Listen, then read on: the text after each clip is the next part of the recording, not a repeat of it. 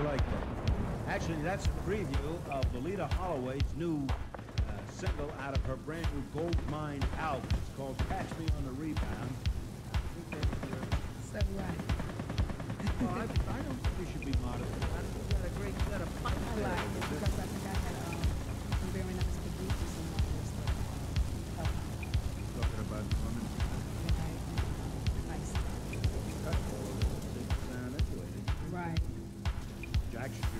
you're from Chicago. Right.